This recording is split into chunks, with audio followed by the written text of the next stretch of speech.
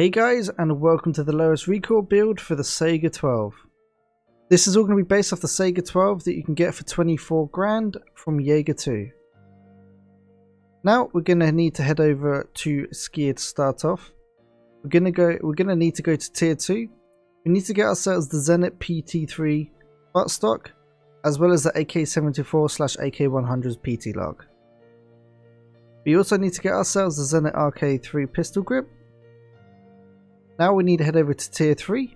We need to get ourselves the SOK12 aluminium handguard. It needs to be the long top version. You can't have the shorter one, but it is lower recoil.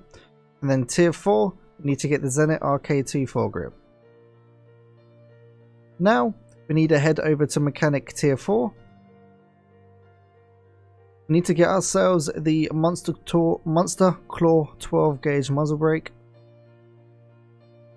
And then finally, if you are looking for the lowest recoil build, you in tier 2 Prapor, the EKP-8 uh, reflex sight does have minus 1 recoil.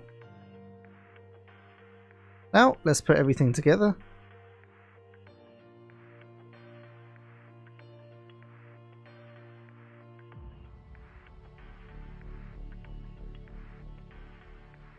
And this is lowest recoil build for the Saiga 12 gauge.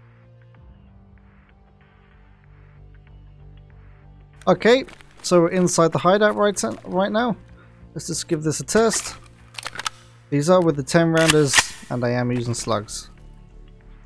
Can't see nothing with this sight. See, there's definitely quite a kick to the gun. Oh, we don't want to use this big boy just yet.